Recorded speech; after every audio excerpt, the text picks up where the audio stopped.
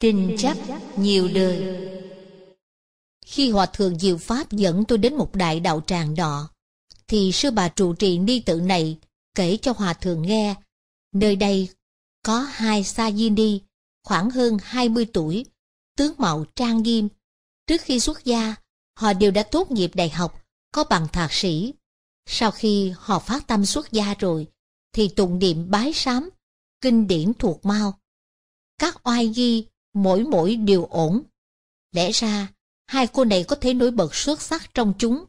Nhưng ngạc nổi, họ mắc phải chứng bệnh, đồng tính luyến ái mà trụ trì khuyên mãi không được. Xin gọi họ là Ni X và Ni Y. Mới đầu hai cô này chẳng ai lìa ai, ngủ thì nằm sát đơn nhau, đứng đâu cũng đứng cùng, lên điện tụng kinh sớm tối thì một trước một sau. Vào thiền đường thì cũng ngồi kề bên nhau. Thậm chí, ngay cả đi rửa tay, hai người cũng chẳng phân ly. Mới đầu, đại chúng chẳng để ý. Nhưng lâu dần, trong chúng bắt đầu lưu tâm, phê bình. Bởi vì khi trụ trì, phái một trong hai người đi làm việc, thì người kia nhất định phải đi theo. Nếu không cho, thì làm ầm lên.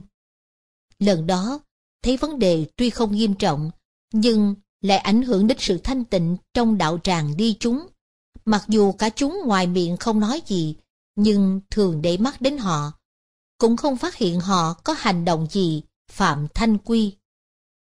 Sư trụ trì đã nhiều lần khuyên nhủ hai cô. Sau khi góp ý phê bình xong, thì Ni X bắt đầu lánh xa Ni Y. Nào dè lại phát sinh việc không hay. Ni Y không chịu nổi cảnh Ni X lánh xa mình, nên giữa hai người xảy ra tranh cãi. Mặc dù họ không dám lớn tiếng làm ồn, nhưng cả hai thường gây nhau đến đỏ mặt tía tai. Có tranh cãi cho lắm, thì y vẫn không chịu để cho ý xa mình nửa bước, cứ theo kè kè, giống như mẹ che chở con đi trên đường vậy. Theo như hai cô kể, tình cảm bọn họ có từ thời trung học, bắt đầu quen là thân ngay. Có thể nói rằng, vừa gặp mặt đã thấy thương liền, từ lúc quen biết đến giờ, họ chưa hề xa nhau. Vào đại học, cũng chung trường. Ở ký túc xá sinh viên, dù người giường trên, kẻ giường dưới, nhưng hai người vẫn thường ngủ chung. Chỉ cần X ở ngoài tầm nhìn của Y là trong lòng Y rất bất an.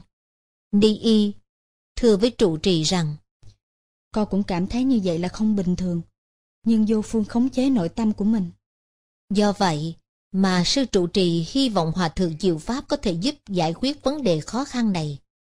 Hòa Thượng trầm ngâm một lúc, rồi kể. Cách đây ba đời, bọn họ từng là mẹ con, mẫu từ tử hiếu. Kiếp thứ hai, thì họ tái sinh làm phu thê. Quan hệ càng kháng kích, như keo sơn quấn quýt không rời suốt cả một đời do tâm dâm ái sâu nặng. Nên kiếp vừa rồi, họ sinh làm đôi chim yến, sớm tối chẳng lìa nhau. Đôi chim yến này làm tổ nơi cây đại thọ trước chùa. Nhờ vậy mà ngày ngày được nghe kinh thính pháp. Nên đời nay có thể cùng chuyển sinh làm người, cùng ban thân nữ có trí thông minh, nhớ dai, lại được đồng xuất gia tu đạo. Nếu tu hành tốt, đời này họ có thể liễu sinh thoát tử. Nếu như tâm cứ mãi đắm chìm trong tình ái sâu đậm từ nhiều đời đến nay, chẳng thể buông bỏ, thì kiếp sau, nhất định họ sẽ đọa địa ngục. Có muốn tiếp xúc với Phật Pháp, cũng khó được. Kể xong, Hòa Thượng đáp ứng lời sư trụ trì thỉnh cầu, đặc biệt khai thị cho hai cô ni kia. Khi hai cô hiểu rõ nhân duyên của họ rồi, lập tức phát nguyện buông bỏ hết. Họ cùng lên đại điện xin sám hối, phát thệ sẽ tu hành tốt. Thế nào là tu hành? Tu hành chính là sửa đổi triệt để thói quen của chính mình để cho mình là một người có lý tính có trí huệ sửa đổi mình là tâm thái an nhiên khi đối diện mọi hoàn cảnh. Có rất nhiều người cho rằng ăn chay, tụng kinh, lạy Phật sám hối, làm công tác từ thiện, thậm chí tu thần thông, tu đạt được năng lực không cần đoán cũng biết, hoặc khai thông khí mạch trên thân, gọi đó là tu hành. Thật ra, nói về tu hành rất đơn giản, chính là sửa đổi sự sai trái hành vi, ngôn ngữ của chính mình, thông qua bất kỳ phương pháp nào mà đạt được mục đích này, đó là tu hành. Vì thế, trên đây nói tụng kinh, lạy sám, ăn chay, niệm Phật. Tu những pháp này thật sự giúp cho thân tâm chúng ta được an lạc, yên ổn. Do đó, nó cũng là một phương pháp tu hành, nhưng không phải mục đích của sự tu hành. Việc này chúng ta phải hiểu rõ rồi mới thực hành. Còn về tu thần thông, theo Phật giáo chỉ chủ trương nhân duyên, quả báo. Tất cả mọi việc đều do nghiệp lực trong đời quá khứ lôi kéo mà chịu quả báo hiện tại. Chúng ta muốn tương lai thoát khỏi thì cũng phải dựa vào sự nỗ lực của chính mình mới dần dần chuyển biến tốt đẹp. Nếu chúng ta dựa vào thần thông thì chẳng giúp được gì. Có rất nhiều người hát phạm bái rất hay. Phạm bái là bài hát hay kệ tán thán đức hạnh của Đức Phật. Họ tụng kinh, trì chú cũng rất thành thạo. Như thế tất nhiên là rất tốt, nhưng đây chỉ là bước đầu vào cửa tu hành. Đó gọi là tụng kinh không bằng hiểu kinh, hiểu kinh không bằng thực hành theo kinh dạy. Kinh điển dạy chúng ta phương pháp tu hành. Chúng ta biết phương pháp, hiểu rõ phương pháp, vẫn phải từng bước thực hành chính xác thì mới đạt được lợi ích tu hành. Nếu như trong cuộc sống hàng ngày, trong lúc làm việc mà chúng ta vẫn giống như trước đây, động một tí thì oán trời trách người, cầu nhau suốt ngày. Như thế thì biểu hiện ăn chay, tụng kinh chỉ là công phu bề ngoài. Còn về sửa đổi thói quen, hành vi và quan niệm của mình thì không có chút mảy may nào. Chúng ta phải sửa đổi hành vi và quan niệm, đó chính là sửa đổi những thói hư tật xấu như tham, sân, si, mạng, nghi, vân vân. Khi sống chung với mọi người, không những chúng ta phải dùng tâm từ bi bao dung, tha thứ lỗi lầm của người khác, mà còn phải phát huy thông minh, tài trí của mình thì mới đem thành quả cống hiến cho mọi người. Bất cứ chỗ nào, lúc nào, chúng ta thường vận dụng lý tính và trí tuệ để giải quyết các loại phiền não. Cho nên, một người tu hành có định lực mạnh mẽ, chẳng những đối với mình có lợi ích, mà hành vi cử chỉ của họ cũng nhất định làm lợi ích cho người khác. Trước đây, có chị vợ đến cầu xin tôi giúp đỡ do chồng chị mê nhậu nhạt cờ bạc. Mỗi lần anh ta nhậu trở về nhà thì gây ồn ào, không những gà bay, chó chạy trốn mà ngay cả các con cũng sợ khi thấy bà về. Tôi hỏi, vậy chị có muốn ly hôn không? Chị nói, dạ con hy vọng tìm cơ hội để cứu vãn cuộc hôn nhân và mái ấm gia đình. Tôi đề nghị chị hãy chí thành tụng hai chục ngàn biến chú chuẩn đề thì có khả năng chuyển biến tốt. Kết quả, chồng chị vẫn nghiện rượu như ngày nào, chẳng có thay đổi chút nào. Ngược lại, chính chị thay đổi. Chị nói sau khi tụng hai chục ngàn biến chú chuẩn đề, thấy tâm mình an ổn, tâm hoàn toàn yên tĩnh, thì tâm từ bi và tâm trí tuệ giống như nước suối tuôn ra. Suốt ngày, chị không còn trách mắng chồng nữa, cũng không than thở số phận hẩm hiu, gặp phải ông chồng hung hăng cờ bạc. Lúc này, chị hết lòng nuôi dưỡng ba đứa con, vẫn bảo các con chấp nhận sự không biết hối cải, ngu si đáng thương của ba. Do đó, mỗi lần chồng chị uống say xỉn về, chị và các con không chạy trốn, cũng không cãi nhau. Cả bốn mẹ con ân cần chăm sóc, sự quan tâm xuất phát từ đáy lòng họ. Dần dần, chồng chị biết hối cải, cảm thấy hổ thẹn khi gây ồn ào trong nhà. Bầu không khí trong gia đình chị cải thiện từ từ. Thế nên, tu hành chính là thay đổi tận gốc thói quen của chính mình, để mình là một người có lý trí, có trí tuệ. Thay đổi mình là tâm thái an nhiên khi đối diện hoàn cảnh. Như thế, khi gặp hoàn cảnh xấu, chúng ta cũng bình thản đối phó. Làm được như thế, không những giúp cho thân tâm chúng ta được an lạc, mà còn giúp cho người thân mở rộng trí tuệ, đạt được thân tâm an lạc. Đây chính là tu hành. Bài 8 Thân thể của bạn có phải của bạn chăng? Khi có tình huống tâm chẳng phải do mình, cho dù tâm không thể điều khiển thân, hoặc thân không chịu sự chỉ huy của tâm. Như thế không phải tự tại thật sự. Nếu bỏ mặt thân thì là sai lầm. Có một lần chúng tôi đang tổ chức thiền thất. Khi ấy, có một vị tỷ khưu đi kinh hành. Mọi người đều đi chậm thông thả. Chỉ có tỷ khưu này đi cứng đơ, hình dáng rất buồn cười, giống như tượng gỗ.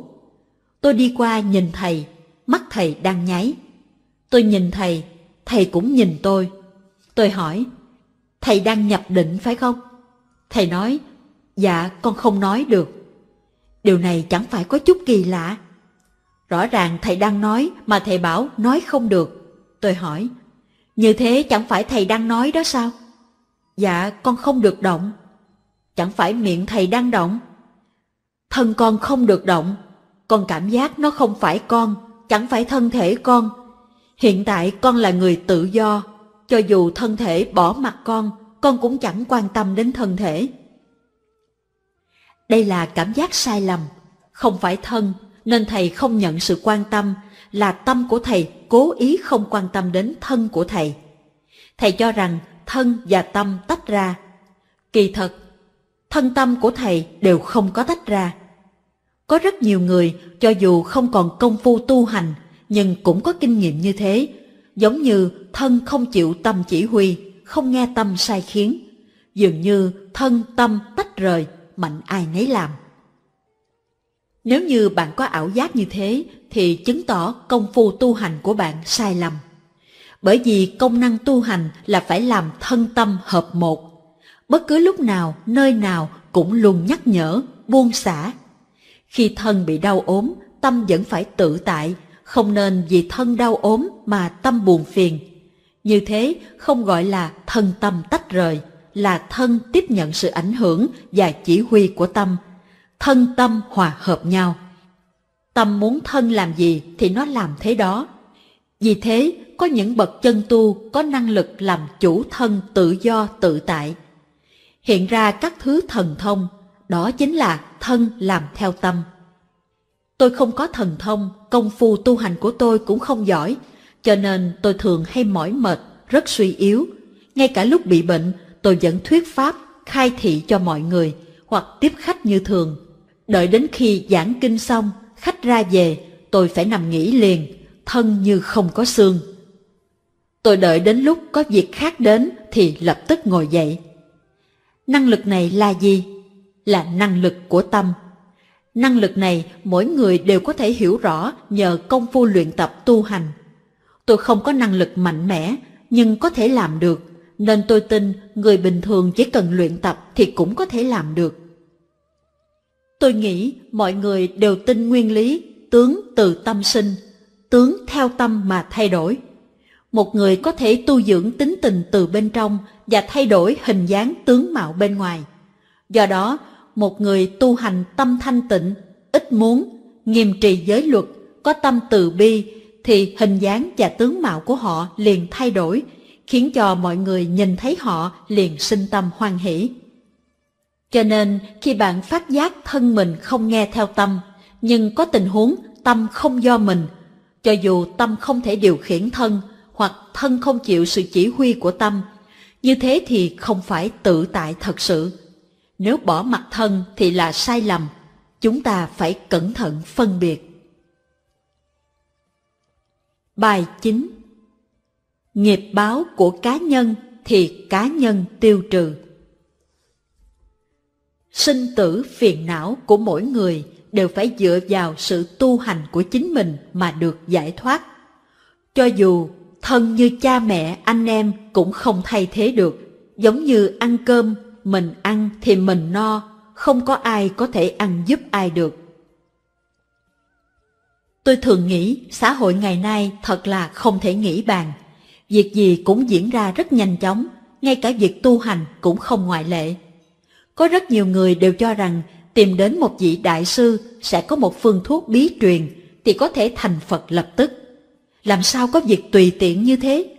Tất nhiên, chúng ta cũng không thể trách mọi người có cách nghĩ như vậy. Chúng ta xem trong Kinh Lăng Nghiêm, thấy tôn giả A Nan sám hối trước Đức Phật. Bạch Đức Thế Tôn, con cho rằng ở bên cạnh Đức Phật thì sẽ được thời cơ rất thích hợp. Ngài sẽ ban cho con trí tuệ giải thoát sinh tử. Kết quả là Đức Phật vẫn phải hết lời khuyên bảo, khéo léo dắt dẫn từng bước, chỉ đường giải thoát cho tôn giả, giúp cho tôn giả tự nhận ra bản tâm thanh tịnh, dựa vào giác ngộ nơi chính mình để thoát sinh tử. Gọi là sinh tử của cá nhân thì cá nhân biết, nghiệp báo của cá nhân thì cá nhân tiêu trừ.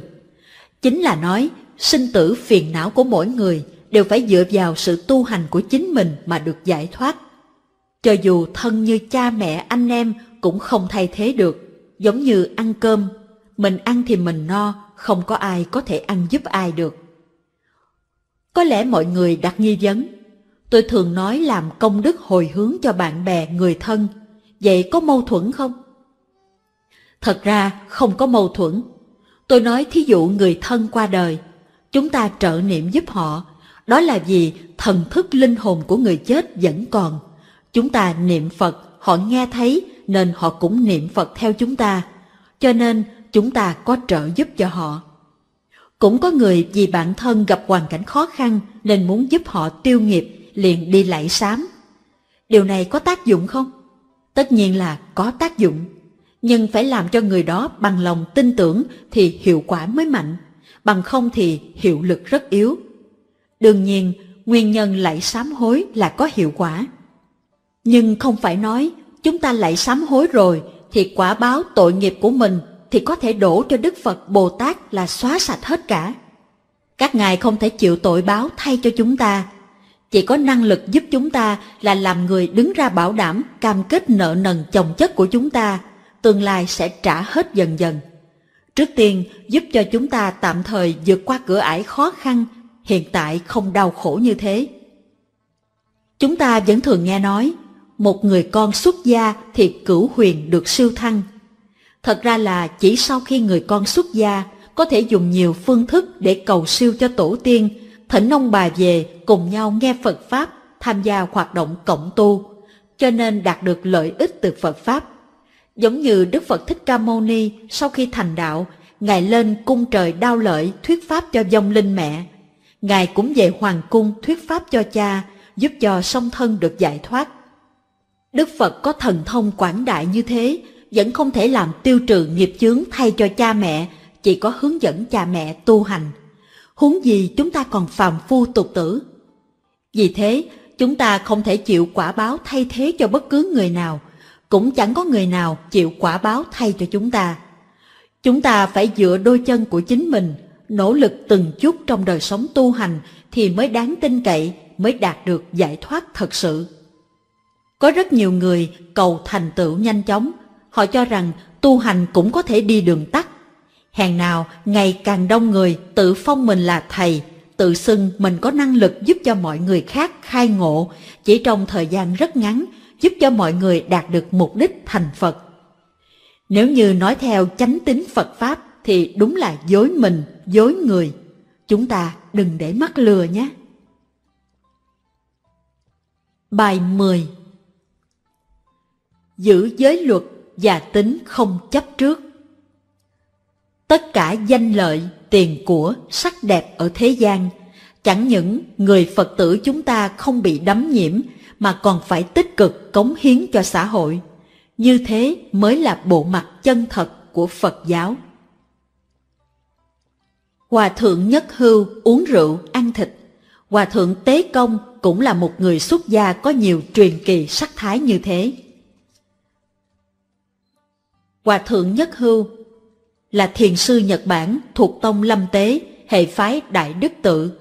Sư là một trong những thiền sư danh tiếng nhất của thiền tông Nhật Bản. Với phong điệu của một cuồng thánh, sư đã phá những phong cách tệ mạc trong những thiền viện lớn mà sư cho rằng đang trên đường tàn lụi. Cách sống và giáo hóa của sư vượt trên tất cả những tục lệ, và vì vậy có rất nhiều tích nói về sư, phần đúng, phần huyền hoặc. Hòa thượng Tế Công còn gọi là Tế Điên Tăng, Tế Điên Hòa Thượng. Câu chuyện của hai vị này khiến cho nhiều người cho là Phật Pháp đã dạy mọi người không có chấp trước, thì trong tâm không có chướng ngại. Như thế thì các vị cao tăng ngộ đạo thật sự, cho dù không bị chấp vào những việc nhỏ nhặt, thân sống buông lung, nhưng cũng không bị ảnh hưởng đến sự tu hành thành tựu của các ngài.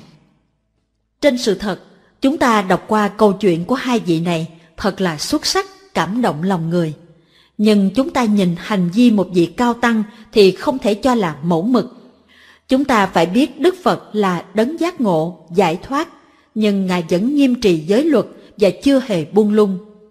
Khi Đức Phật Thích Ca Mâu Ni còn tại thế, do có nhóm sáu tỷ khưu, trước khi chứng quả A-la-hán, các thầy sống phóng túng, cho nên Đức Phật mới chế giới luật, mỗi giới để thúc liễm hành vi của họ. Nhóm sáu tỷ kheo, còn gọi là lục quần tỳ kheo, là sáu ác tỷ kheo thời Đức Phật còn tại thế, đó là một Nang Đà, hai Bạc Nang Đà, ba Ca Lưu Đà Di, bốn Xiển Na, năm A Thuyết Ca, sáu Phất Na Bạc. Từ Ấn Độ, Trung Quốc, Tây Tạng đến Nhật Bản, các vị cao tăng đều nghiêm trì giới luật. Những người như Hòa Thượng Nhất Hưu, Hòa Thượng Tế Công là trường hợp đặc biệt rất ít có. Bậc có trí tuệ không có nghĩa là không giữ gìn oai nghi. Tôi biết hiện nay ở Đài Loan có các môn phái công khai uống rượu, ăn thịt, quan hệ nam nữ cũng rất tùy tiện, mà tự cho mình là thánh nhân đã chứng quả thứ ba, quả thứ tư. Theo truyền thống Phật giáo thì không thể chấp nhận hành vi này. Quả thứ ba còn gọi là bất hoàn quả, là giai vị đã đoạn ba phẩm sau trong chính phẩm tư hoặc cõi dục, không còn thọ sinh đến cõi dục nữa. Quả thứ tư còn gọi là A-la-hán quả, là giai vị đã đoạn hết tất cả kiến hoặc, tư hoặc ở cõi sắc, cõi vô sắc, nhập niết bàn vĩnh viễn, không còn sinh tử lưu chuyển. Theo truyền thống Phật giáo thì không thể chấp nhận hành vi này, nhưng những người bình thường trong xã hội thì rất dễ bị họ lôi kéo.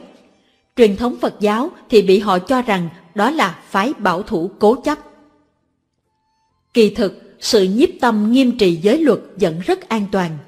Vào khoảng năm 1980, ở nước Mỹ có rất nhiều người tự cho mình là thiền sư, thượng sư, đã được giải thoát tự tại, làm loạn quan hệ nam nữ và đồng tính luyến ái.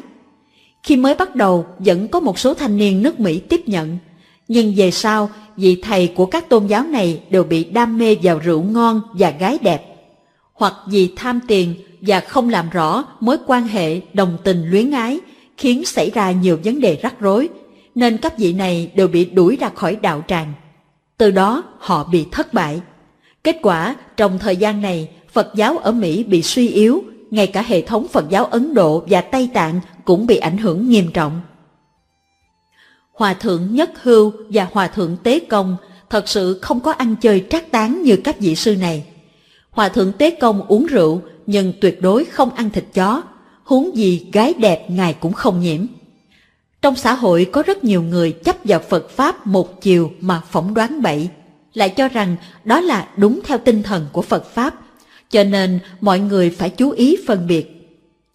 Phật Pháp là đi vào cuộc đời giáo hóa thế gian và làm cho xã hội tốt đẹp.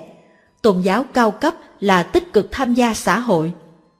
Tất cả danh lợi, tiền của, sắc đẹp ở thế gian, chẳng những Phật tử chúng ta không bị đắm nhiễm mà còn phải tích cực cống hiến cho xã hội. Như thế mới là bộ mặt chân thật của Phật giáo. Bài 11 Thế nào là hạnh Bồ Tát?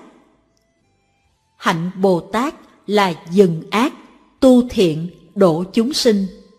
Cụ thể thiết thực ngay trong cuộc sống hàng ngày, chính là phương pháp chung sống với người khác, với chính mình. Chúng ta muốn hiểu rõ thế nào là hạnh Bồ Tát, thì trước phải làm rõ thế nào là Bồ Tát. Chúng ta thấy trong kinh điển ghi lại, Bồ Tát không có hình tướng nhất định. Trước khi Đức Phật Thích Ca Mâu Ni thành đạo, những đời sống kiếp trước, Ngài đã từng làm tỷ khưu, làm vua, làm dương tử, cư sĩ, cho đến làm các loài động vật như nai, trâu, voi, ngỗng, vân vân đều được gọi là nhân hạnh thành Phật. Cũng chính là giai đoạn tu hành đạo Bồ Tát. Các vị Đại Bồ Tát như Bồ Tát Quán Thế Âm, Bồ Tát Địa Tạng cũng là như thế. Các ngài thị hiện rất nhiều hình tướng ở thế gian này để cứu khổ, cứu nạn cho chúng sinh. Khi chúng sinh cần Bồ Tát làm gì thì các ngài hiện ra thân hình ấy ở bên cạnh chúng ta. Vì thế, Bồ Tát không phải là vị thần ngồi ở trên cao mà là thường hiện thân tướng phàm phu, ở thế gian tu hành tùy duyên giáo hóa chúng sinh. Cho nên, Bồ Tát chủ yếu giúp cho chúng sinh phát tâm Bồ đề, nhưng không chấp vào hình dáng đặc biệt nào. Người nào phát tâm Bồ đề là nguyện đoạn tất cả điều ác, nguyện tu tất cả điều thiện, nguyện độ tất cả chúng sinh. Lại nữa, hạnh Bồ Tát là phát nguyện tu học từ bi và trí tuệ. Do đó, chúng ta đủ biết ai cũng có thể trở thành Bồ Tát ngay hiện tại và thành Phật ở tương lai. Hạnh Bồ Tát là dừng ác, tu thiện, độ chúng sinh. Cụ thể thiết thực ngay trong cuộc sống hàng ngày là một phương pháp chung sống với người khác, với mình. Cũng chính là nói, khi mình sống chung với người khác thường khởi tâm từ bi, tôn trọng, biết ân, bố thí. Khi họ sống chung với mình thì thường khởi tâm tinh tấn và tâm thanh tịnh, biết hổ thẹn, sám hối, chính là bạn mới phát tâm Bồ Tát, tu học hạnh Bồ Tát. Điều đặc biệt tôi phải nhấn mạnh là hổ thẹn khác với tự ti, sám hối khác với hối hận. Khi chúng ta xem xét lại tâm niệm và hành vi của mình, nếu như việc đáng làm mà chúng ta không chịu làm, liền cảm thấy hổ thẹn và biết khích lệ, quyết tâm lần sau cố gắng làm. Còn đối việc không đáng phạm mà phạm, thậm chí họ vừa phạm sai lầm lại phạm nữa. Nếu họ biết sám hối, một mặt có thể kịp thời tỉnh ngộ sửa đổi lỗi lầm, một mặt cũng đủ can đảm chịu hậu quả, không chối cãi chạy tội, đùng đẩy trách nhiệm. Do đó, tâm hổ thẹn, tâm sám hối là hành vi tích cực, tự khuyến khích mình, tự xét mình và tự thẹn mình không bằng người, tự cho mình ở đâu cũng không bằng người.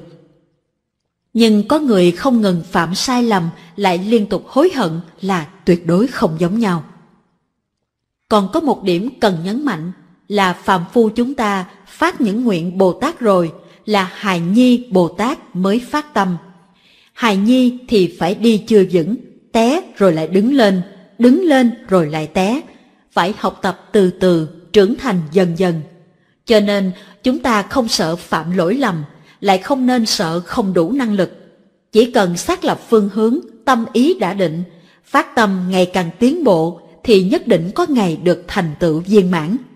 Chúng ta phải biết, mới phát tâm tuy khó, nhưng giữ vững lâu dài tâm không thay đổi lại càng khó hơn.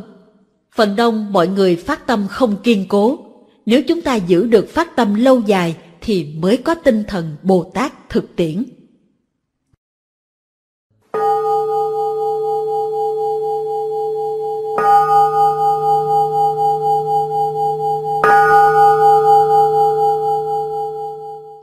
Phần 2 Thích tham thiền ở ngã tư đường phố Bài 1 Phiền não là nhân duyên trợ đạo Khi chúng ta đối diện khổ đau mà tìm cách thoát khỏi khổ đau, đương nhiên là rất tốt. Nếu như chúng ta gắn gượng chịu đựng, thì không có cách gì thay đổi được tình cảnh hiện tại. Chúng ta phải dùng tâm thái mạnh mẽ để đối diện nó, không oán giận, không tuyệt vọng, cũng không phải nhẫn nhục chịu đựng. Khi chúng ta cảm thấy có phiền não, có đau khổ là do không rõ hoàn cảnh, không hiểu nguyên nhân. Nếu như chúng ta hiểu rõ ngọn nguồn sinh khởi phiền não và khổ đau thì sẽ hiểu phiền não. Người tầm thường sẽ tự chuốc lấy đau khổ lại càng nhiều hơn. Chúng ta cũng có thể chuốt lấy điều đó. Nhưng thông thường mọi người sống trong an lạc, phần đông không nghĩ đến để tìm kỹ nguồn gốc phiền não và khổ đau Chỉ khi nào họ phải trải qua nỗi đau xé ruột dày dò thì mới nghĩ đến và đi tìm đáp án. Hoặc là trước đây chưa gợi ra tiềm năng vốn có để mong cầu vượt qua cảnh khốn khổ. Do đó, chúng ta thường luyện tập khổ đau để tạo thành bước ngoặt đời người trong hoàn cảnh khó khăn. Đó gọi là lo lắng ân cần gợi ý thánh nhân, hoặc văn nhân càng lâm cảnh khốn cùng, bất đắc chí thì viết ra thơ văn càng hay. Chính là lý lẽ này. Thời kỳ chiến tranh thế giới thứ hai, có cô gái người Do Thái tên là Annie ở trong vùng chiếm đóng của quân Đức. Ở nhà tù, chỉ có người đặc biệt mới chịu đựng được, mới vượt qua cuộc sống giam cầm. Nhưng cô chọn quan điểm hoàn toàn không giống với người khác, là dùng tình cảm phong phú để đón nhận thân mình chịu đau khổ. Chính vì thế mà hiện rõ vẻ đẹp tính người trong cực khổ. Nhật ký của cô được lưu truyền mãi đến đời sau, làm cảm động hàng ngàn, hàng vạn người. Quan điểm của cô không những giúp mình được thoát khỏi đau khổ, mà còn giúp cho mọi người cùng nhau hiểu rõ vẻ đẹp sáng ngời của tính người. Đây là một ví dụ rất hay. Giải thích Anne Frank là một cô bé người Đức gốc Do Thái, tác giả cuốn nhật ký nổi tiếng Nhật ký Anne Frank. Cuốn nhật ký được viết khi Anne cùng gia đình và bốn người nữa ẩn náu trên căn gác áp mái tại ngôi nhà số 263 trên đường Prinsengracht, Amsterdam trong thời gian chiếm đóng của quân Đức thời Thế chiến thứ hai. Sau khi Adolf Hitler lên nắm quyền vào tháng 1 năm 1933, gia đình Anne Frank rời khỏi Frankfurt đi Amsterdam cuối năm 1933 để thoát khỏi sự truy đuổi của Đức Quốc xã. Từ tháng 7 năm 1942, họ sống trốn tránh trong những căn phòng được ngụy trang. Khi đó, Anne 13 tuổi. Sau 2 năm, do bị phản bội, gia đình Anne bị phát hiện và bị đưa tới trại tập trung của Đức Quốc xã. Bảy tháng sau đó, Anne chết tại trại Bergen-Belsen Vài ngày sau cái chết của Margot, chị của Anne, ông Otto, cha của Anne, là người duy nhất trong nhóm sống sót trở về Amsterdam sau chiến tranh và tìm thấy nhật ký của con gái tại nơi gọi là trái nhà bí mật. Ông đã quyết định cho xuất bản cuốn nhật ký. Nhật ký Anne Frank là một cuốn sách bao gồm các trích đoạn từ một cuốn nhật ký do Anne Frank viết trong khi cô bé đang trốn cùng gia đình trong thời kỳ Đức Quốc xã chiếm đóng Hà Lan. Gia đình cô bé đã bị bắt năm 1944 và Frank cuối cùng đã chết vì bệnh sốt phát ban ở trại tập trung Bergen-Belsen. Sau chiến tranh, cuốn nhật ký đã được cha của Frank là Otto Frank tìm lại được.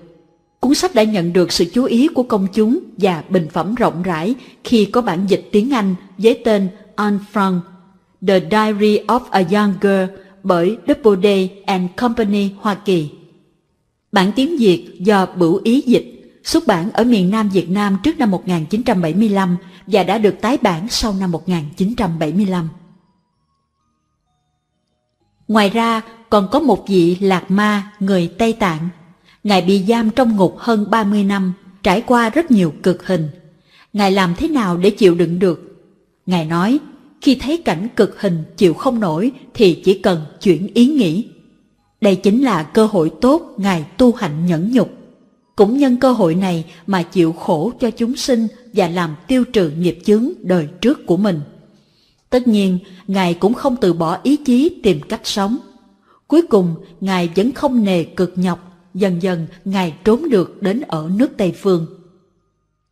Cho nên, chúng ta hiểu được ý nghĩa khổ đau thì khổ thế nào cũng chịu đựng được. Khi chúng ta đối diện khổ đau mà tìm cách thoát khỏi khổ đau, đương nhiên là rất tốt. Nếu như chúng ta gắn gượng chịu đựng thì không có cách gì thay đổi được tình cảnh hiện tại. Chúng ta phải dùng tâm thái mạnh mẽ để đối diện nó, không oán giận, không tuyệt vọng, cũng không phải nhẫn nhục chịu đựng. Đây mới là từ trong đau khổ thật sự để mình trải nghiệm và trưởng thành. Tuy nói phiền não là nhân duyên trợ đạo, nhưng muốn tìm điều bất ngờ thú vị này mà chúng ta muốn tự chuốc khổ để bản thân cảm nhận mùi vị cực khổ, như thế thì quá ngu xuẩn.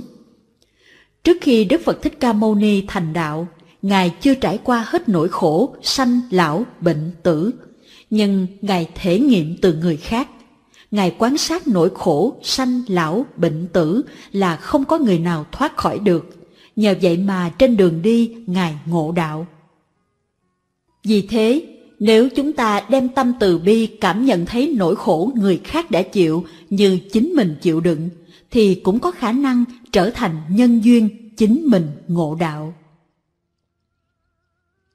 Bài 2 Cảm ơn Bồ Tát ung thư Bệnh khổ là nghịch tăng thượng duyên để trợ giúp đạo tâm tăng trưởng. Bệnh nặng lại có thể là nhân duyên ngộ đạo. Bởi vì sau khi bản thân trải qua bệnh tật hành hạ, thì chúng ta mới hiểu được tinh thần Bồ Tát cứu khổ, cứu nạn. Ở Pháp Cổ Sơn có vị tín nữ, trong bao tử cô phát ra một khối u ác tính. Sau đó, nó lan rộng đến một phần chân, một phần tay và đến toàn thân. Nhưng sau khi chịu đau đớn hành hạ, thì tâm cô mở rộng. Cô đến nói với tôi rất lạc quan. Thưa thầy, nếu con không mắc căn bệnh này, làm cho con chịu nhiều đau đớn, thì con vẫn không biết cơn đau đớn dữ dội như thế, mà người ta vẫn phải chịu đựng. Hiện nay, con chẳng còn lo sợ điều gì mà con không chịu được. Cô hài hước gọi tế bào ung thư trong mình là Bồ Tát ung thư. Cô nói, thưa thầy, con phải cảm ơn những Bồ Tát ung thư này, chúng nó là chuyên môn để giúp con thành tựu. Cổ Đức nói, tỷ khưu thường mang ba căn bệnh là nhân duyên trợ đạo người tu hành thấy bệnh khổ là nghịch tăng thượng duyên để trợ giúp đạo tâm tăng trưởng. Bệnh nặng lại có thể là nhân duyên ngộ đạo. Bởi vì sau khi bản thân trải qua bệnh tật hành hạ thì mới hiểu được tinh thần Bồ Tát cứu khổ, cứu nạn. Người đang bệnh nên quán chiếu thân này mỏng manh vô thường, chấp nhận bệnh tật hành hạ. Người bệnh chỉ dùng tâm bình thản để đối diện nhân duyên quả báo Phần đông người bình thường đều sợ bệnh, họ tìm đủ mọi cách để trốn tránh nó. Nhưng nhìn theo quan điểm của Phật giáo, khi người bệnh nặng, các bác sĩ không chữa được, thuốc thang vô hiệu thì họ hoảng loạn, sợ hãi, chỉ có khổ càng thêm khổ, chẳng giúp được gì. Chỉ bằng bệnh nhân thanh thản đối diện nó, bằng lòng chấp nhận nó. Một khi đối diện nó thì liền buông xả, Điều này giống như trong tay chúng ta cầm củ khoai lang nóng, muốn bỏ xuống mà bỏ không đành. Vậy làm thế nào? Đành phải cắn răng tìm cách giữ lại nó. Sau khi cầm nó mãi, tay bạn sẽ quen dần, cũng không còn cảm thấy khoai lang nóng nữa. Cho nên bỏ xuống hay không bỏ cũng không sao cả. Bình thường bị bệnh ung thư chừng một năm là rất đau đớn. Khi chữa bằng chạy xạ trị cũng đau đớn không chịu đựng nổi. Nhưng tôi cũng gặp rất nhiều tình cảnh giống cô cư sĩ này. Họ dũng cảm tích cực đối diện bệnh ung thư. Trong lúc bệnh tật là cơ hội họ học cách thản nhiên chấp nhận bệnh tật hành hạ. Cũng là cơ hội học nắm vững thân mạng hữu hạn mà tích cực làm việc phục vụ và cống hiến cho xã hội mãi đến hơi thở cuối cùng mới nghỉ. Họ nói với tôi, Thưa Thầy, con chịu đau đớn đến phút cuối cùng chỉ cần trong tâm không oán, không giận, đau chỉ là đau mà thôi. Không khổ, khổ và không khổ hoàn toàn là do ảnh hưởng tâm lý. Chúng ta hiểu được điều này thì cũng hiểu được thế nào là tinh thần Bồ Tát.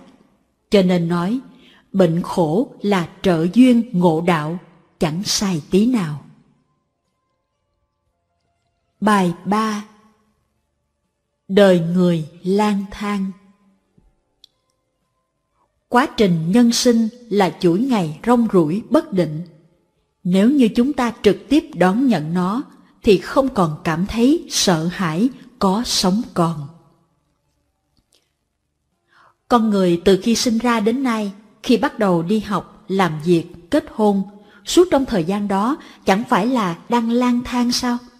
Đặc biệt là xã hội ngày nay, tính không cố định mạnh mẽ như thế, mọi người đều đang lang thang. Cho nên, lang thang là bản chất của con người, chẳng có gì để lo lắng, sợ hãi. Từ khi xuất gia đến nay, tôi cứ mãi lang thang, từ Lan Sơn, Bắc Ngạn, Trường An cho đến Thượng Hải, lại lang thang đến Đài Loan. Trước đây, khi tôi sống ở nước ngoài, thời gian khoảng nửa năm, cuộc sống của kẻ lang thang ở không cố định, dài màng túi sách đi khắp nơi ngủ nhờ. Nếu ngủ nhờ không được thì ngủ ngoài đường phố. Nhưng cuộc sống như thế là lang thang chủ động. Tôi có mục tiêu và phương hướng rất rõ ràng. Bản thân sống rất đầy đủ, không cho lang thang là khổ. Xưa kia, khổng tử đi chu du các nước, nhưng luôn lo lắng, bận biệu, ngồi chưa ấm chỗ liền đi, chẳng phải là lang thang sao? Người làm nghề kinh doanh đi khắp mọi nơi cũng là lang thang khắp chốn. Người xuất gia là ra khỏi nhà, sống không có nhà, lại lấy lang thang làm cuộc sống. Khi Đức Phật Thích Ca Mâu Ni rời khỏi hoàng cung, bắt đầu trải qua cuộc sống lang thang, Ngài thường xuyên không có chỗ ở cố định, không có việc làm cố định, cũng không có đối tượng phục vụ cố định, nhưng lại hết lòng phục vụ cho mọi người. Như thế là không phải cho riêng mình, vì tinh thần của người lang thang không cất giữ tiền của riêng. Nhưng hiện nay có rất nhiều người đi lang thang vì bị hoàn cảnh bức bách, tìm việc làm không được, không có chỗ ở. Chính mình cảm thấy không có tương lai, đành phải lang bạc khắp nơi, sống cho qua ngày. Thậm chí có người dướng vào ma túy, nghiện rượu. Thực ra, con người sống ở đời có rất nhiều việc thay đổi bất ngờ. Nếu người thật sự gặp hoàn cảnh gian truân, trở thành kẻ lưu lạc, cũng không phải là lầm vào bước đường cùng. Lúc tôi ở Mỹ, có một vị đệ tử tại gia là kẻ lưu lạc. Anh ta lấy bốn phương làm nhà, ăn ngủ ở khắp mọi nơi. Cuộc sống không nhà, không lo âu, trời cao biển rộng, đời sống rất phong phú. Đó là nhà triết học đường phố. Chủ yếu là vì anh ta có phương hướng rõ ràng. Anh kể, nhu cầu cuộc sống của anh rất thấp. Lúc bị bệnh, anh vào bệnh viện để khám bệnh. Đành phải nói thật với bác sĩ là anh không có bảo hiểm, nên bệnh viện không nỡ bỏ lơ. Nếu như cuộc sống hàng ngày cần tiền, thì anh dựa vào sức khỏe làm việc cũng có thể kiếm được tiền. Thời gian còn lại, phần nhiều anh đi hoằng pháp khắp nơi. Nhưng người bình thường vẫn cần có gia đình, việc làm và cuộc sống như thường. Vì thế, tôi cũng không khích lệ mọi người đều làm kẻ lang thang. Chỉ là xã hội đa dạng nên có rất nhiều người được học hành rất tốt, năng lực cũng rất khá, nhưng làm việc lại không gặp thuận lợi. Đặc biệt kinh tế hiện nay đang suy thoái, người trung niên thất nghiệp dường như càng ngày càng đông, mọi người lờ mờ cảm thấy bất an. Kỳ thực, nhân sinh vô thường, xưa nay không có vật gì là tồn tại vĩnh viễn. Tự mình không thể giữ được khi sự việc xảy ra, nhưng có thể dùng thái độ tích cực để đối diện nó. Cảm thấy bất an thì buông xả hoàn toàn, và nói với mình quá trình nhân sinh là chuỗi ngày lang thang bất định. Nếu như chúng ta trực tiếp đón nhận nó, thì không còn cảm thấy sợ hãi có sống còn. Bài 4 Nhắc đến để buông xả Học như thế nào để quản lý mình tốt? Làm thiện, dừng ác, vì gia đình, vì xã hội mà tròn bổn phận. Mấy năm gần đây, tôn giáo ở trong nước bị tai tiếng không ngừng, làm cho mọi người trong xã hội hiểu lầm tôn giáo, đặc biệt là Phật giáo lại bị rất nhiều. Nguyên nhân này vì có rất nhiều đệ tử Phật giáo tự cho mình tin Phật giáo, tự cho mình đang tu hành. Thật ra họ nhận thức Phật Pháp không rõ ràng, hiểu cũng không chính xác, lại không theo đúng Phật Pháp để thực hành. Vì thế, chúng ta tin Phật, học Phật, quan trọng nhất là cuối cùng tin như thế nào, học như thế nào.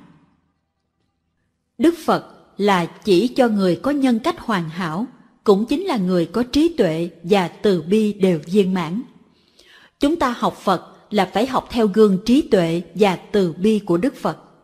Từ bi đối với chúng sinh mà nói, người từ bi tuyệt đối không được gì không kiềm chế được hành vi của mình mà làm tổn thương người khác. Người từ bi có thể giúp cho người khác sống chung với mình, cùng làm việc với mình, vừa cư xử khéo léo đạt được lợi ích, gặp thời cơ thích hợp thì khuyên bảo người khác ân cần, hoặc giúp đỡ họ. Chúng ta học Phật như thế mới được người khác kính trọng và quý mến. Người có trí tuệ thì giảm một chút phiền não, giảm một chút khó khăn đấu tranh với mình.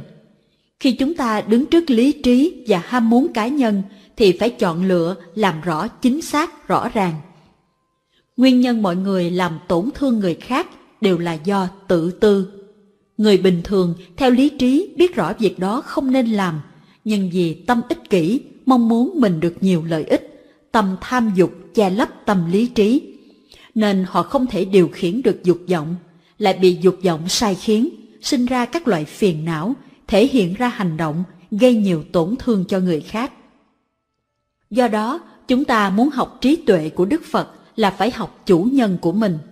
Học như thế nào để quản lý mình tốt, làm thiện, dừng ác, vì gia đình, vì xã hội mà tròn bổn phận. Khi tôi ở nước Mỹ, có một bà vợ đến tìm tôi khóc lóc. Bà nói, Thưa thầy, chồng con đã mất tích hơn nửa năm, nay bỗng nhiên xuất hiện. Anh ra đi không một lời từ biệt, té ra anh đến sống chung với người phụ nữ khác. Còn nghĩ anh đã chết nên tâm trạng con dần dần tìm được sự thăng bằng. Không ngờ xảy ra việc thế này, quả là con sắp điên mất, còn muốn giết chết anh ta. Tôi hỏi, giết chết anh ta rồi, chị làm thế nào? Con cái sẽ ra sao? Con mặc kệ, con sẽ dắt con của con đi tự sát luôn. Chồng của chị phạm sai lầm, còn chị và con đều vô tội mà. Thưa thầy, thầy có dạy được chồng con không? Chồng chị không đến, tôi không thể dạy được. Cho dù chị kéo anh ta đến đây mà anh không tin tôi, thì tôi cũng không giúp được. Nhưng tôi có thể dạy chị xử lý việc này như thế nào. Đức Phật dạy mọi người phải nhắc đến để buông xả. Cho nên chị phải buông xả tâm giận dữ với chồng. Chị phải dũng cảm gánh trách nhiệm một mình nuôi dạy con cái. Lại còn vận dụng tâm từ bi tha thứ cho chồng chị và người phụ nữ kia. Nghe tôi nói, chị bực bội không chịu. Như thế thì không công bằng, còn không bằng lòng. Con của con mang họ của anh ta, tại sao con giúp anh ta để nuôi con? Lẽ nào con cái không phải con của chị? Anh ta không làm tròn bổn phận người cha, chị cũng không thể không làm tròn bổn phận của người mẹ. Giả lại, thế gian này việc không công bằng, không hợp lý rất nhiều. Có người có thể cải thiện, có người không thể nào đoán được. Chúng ta không quản lý được họ. Nếu như mỗi người tự quản lý mình tốt, mỗi người đều làm tròn bổn phận, thì việc không công bằng sẽ giảm bớt. Nhắc đến để buông xả, chúng ta tin Phật, học Phật là phải học trí tuệ và từ bi để giúp mình ở trong thế giới hiện thực lộn xộn, nhận rõ sự thật, dứt trừ phiền não. Trí tuệ của Đức Phật từ sự tu hành mà ra, không có tu hành thì không có trí tuệ. Phương pháp tu hành, đời sống tu hành, nói rõ là thực hành trung thực, rất đơn giản, không có dùng thủ đoạn để khoe khoang với mọi người. Bài 5 Nền tảng của hôn nhân chỉ có phương hướng nhân sinh, quan niệm sinh tồn giống nhau thì mới bảo đảm ổn định hạnh phúc hôn nhân. Mấy năm gần đây, tỷ lệ ly hôn ở Đài Loan ngày càng cao. Các cơ quan chức năng và đoàn thể thảo luận làm thế nào để tỷ lệ ly hôn ở mức thấp nhất – hoặc phòng ngừa xảy ra việc ly hôn đã trở thành vấn đề mà mọi người trong xã hội quan tâm bàn luận. Nguyên nhân tỷ lệ ly hôn hơi cao là do nếp sống xã hội và trào lưu thời đại tạo thành. Bởi vì công năng kết cấu gia đình hiện đại và trước đây khác nhau. Cảm giác nhu cầu quan tâm, giúp đỡ, dựa vào nhau giữa vợ chồng càng ngày càng ít. Trước đây, con gái kết hôn là vì tìm người giàu có để nương tựa lâu dài cả đời người. Thế nhưng ngày nay, cơ hội vợ chồng cùng đi làm kiếm tiền bằng nhau, con gái có năng lực mưu sinh độc lập, càng ngày càng phổ biến. Nhưng cách nghĩ này sẽ sớm lạc hậu. Lại thêm hoàn cảnh cả vợ chồng tiếp xúc không giống nhau, cách nghĩ khác nhau, tạo thành đồng sàng dị mộng. Về mặt tinh thần, quan niệm, tín ngưỡng, thói quen chung càng ngày càng ít, ở đâu cũng thấy. Bởi vì vợ chồng không cùng quan niệm, tín ngưỡng, phương hướng, cho nên không thể sống chết cùng nhau, không thể chồng bảo vợ nghe. Thậm chí có rất nhiều người vẫn chưa kết hôn mà có nói thế này. Tìm một người kết hôn, nếu sau này không hợp nhau thì ly hôn là cùng. Chỉ có phương hướng nhân sinh, quan niệm sinh tồn giống nhau thì mới bảo đảm ổn định hạnh phúc hôn nhân. Thế nào là tu hành? Tu hành chính là sửa đổi triệt để thói quen của chính mình, để cho mình là một người có lý tính, có trí huệ.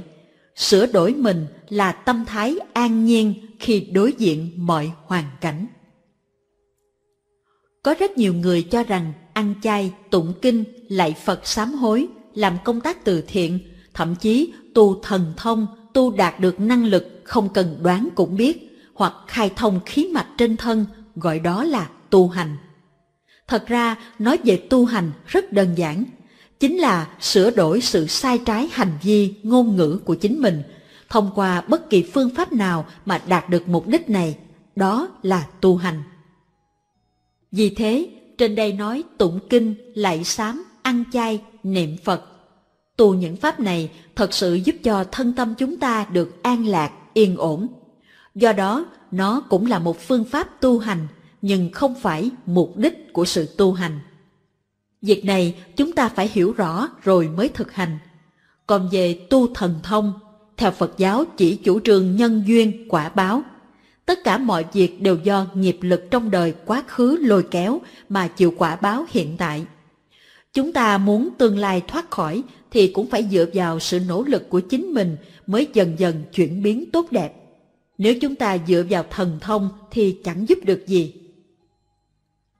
Có rất nhiều người hát phạm bái rất hay. Phạm bái là bài hát hay kệ tán thán đức hạnh của Đức Phật. Họ tụng kinh, trì chú cũng rất thành thạo.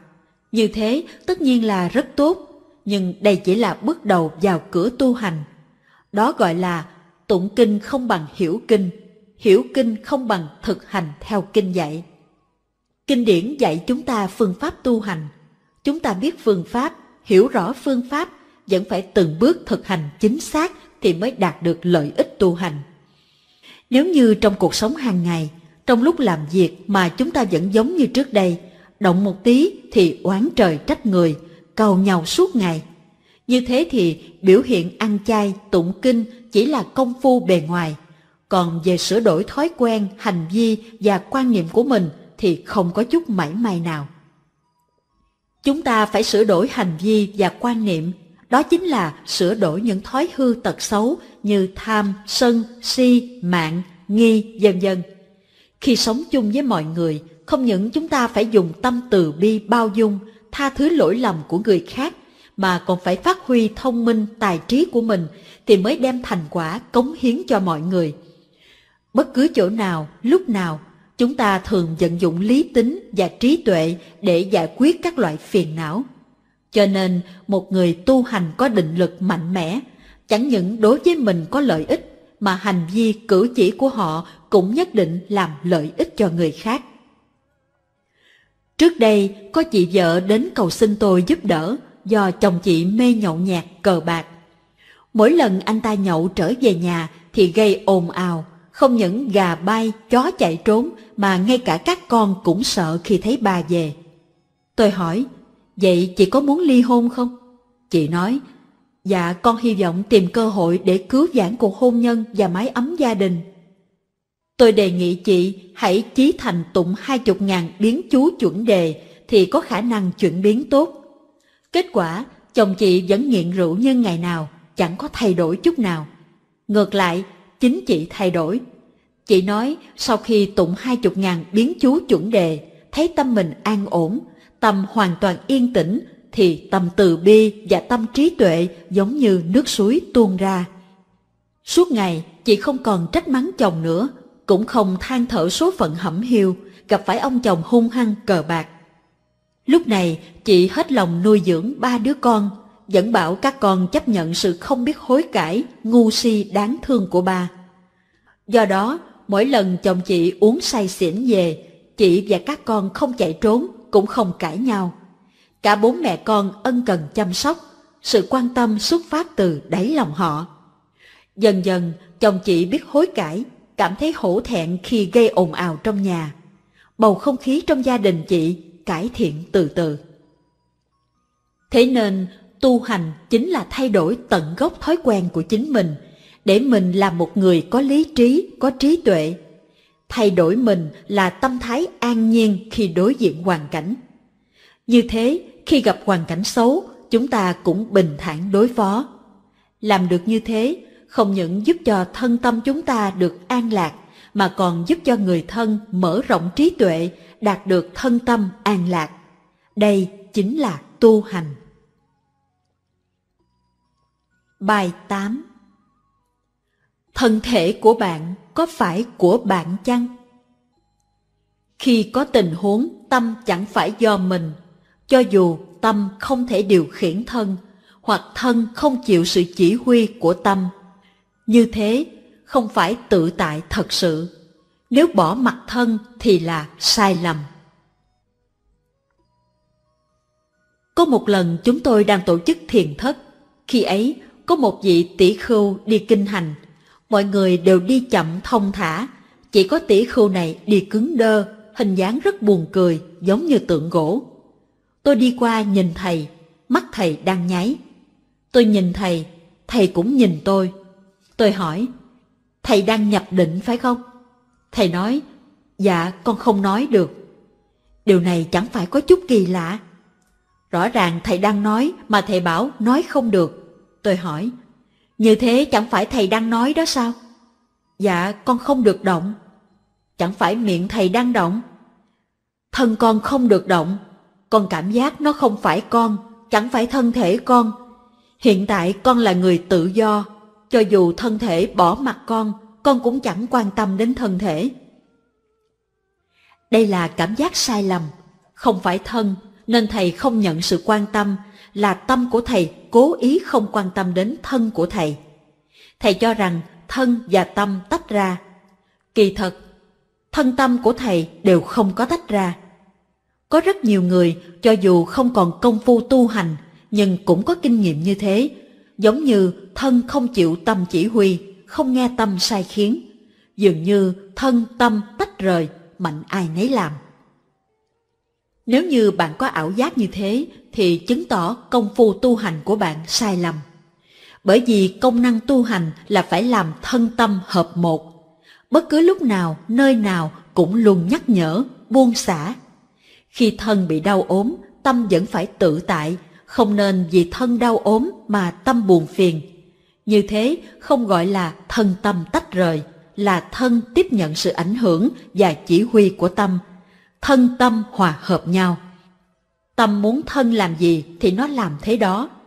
Vì thế, có những bậc chân tu có năng lực làm chủ thân tự do tự tại. Hiện ra các thứ thần thông, đó chính là thân làm theo tâm. Tôi không có thần thông, công phu tu hành của tôi cũng không giỏi, cho nên tôi thường hay mỏi mệt, rất suy yếu. Ngay cả lúc bị bệnh, tôi vẫn thuyết pháp, khai thị cho mọi người, hoặc tiếp khách như thường. Đợi đến khi giảng kinh xong, khách ra về, tôi phải nằm nghỉ liền, thân như không có xương. Tôi đợi đến lúc có việc khác đến thì lập tức ngồi dậy. Năng lực này là gì? Là năng lực của tâm. Năng lực này mỗi người đều có thể hiểu rõ nhờ công phu luyện tập tu hành. Tôi không có năng lực mạnh mẽ, nhưng có thể làm được, nên tôi tin người bình thường chỉ cần luyện tập thì cũng có thể làm được. Tôi nghĩ mọi người đều tin nguyên lý tướng từ tâm sinh, tướng theo tâm mà thay đổi. Một người có thể tu dưỡng tính tình từ bên trong và thay đổi hình dáng tướng mạo bên ngoài. Do đó, một người tu hành tâm thanh tịnh, ít muốn, nghiêm trì giới luật, có tâm từ bi, thì hình dáng và tướng mạo của họ liền thay đổi, khiến cho mọi người nhìn thấy họ liền sinh tâm hoan hỷ. Cho nên khi bạn phát giác thân mình không nghe theo tâm, nhưng có tình huống tâm không do mình, cho dù tâm không thể điều khiển thân hoặc thân không chịu sự chỉ huy của tâm, như thế thì không phải tự tại thật sự. Nếu bỏ mặt thân thì là sai lầm, chúng ta phải cẩn thận phân biệt. Bài 9 Nghiệp báo của cá nhân thì cá nhân tiêu trừ. Sinh tử phiền não của mỗi người đều phải dựa vào sự tu hành của chính mình mà được giải thoát. Cho dù thân như cha mẹ, anh em cũng không thay thế được. Giống như ăn cơm, mình ăn thì mình no, không có ai có thể ăn giúp ai được. Tôi thường nghĩ xã hội ngày nay thật là không thể nghĩ bàn. Việc gì cũng diễn ra rất nhanh chóng, ngay cả việc tu hành cũng không ngoại lệ. Có rất nhiều người đều cho rằng tìm đến một vị đại sư sẽ có một phương thuốc bí truyền thì có thể thành Phật lập tức. Làm sao có việc tùy tiện như thế?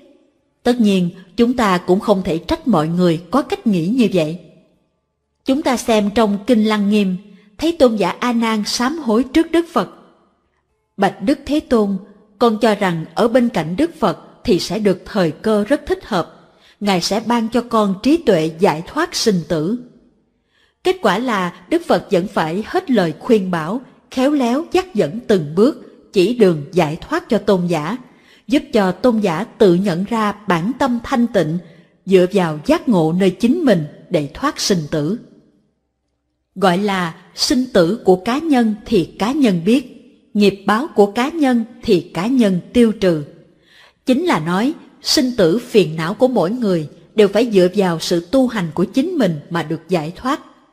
Cho dù thân như cha mẹ anh em cũng không thay thế được, giống như ăn cơm, mình ăn thì mình no, không có ai có thể ăn giúp ai được.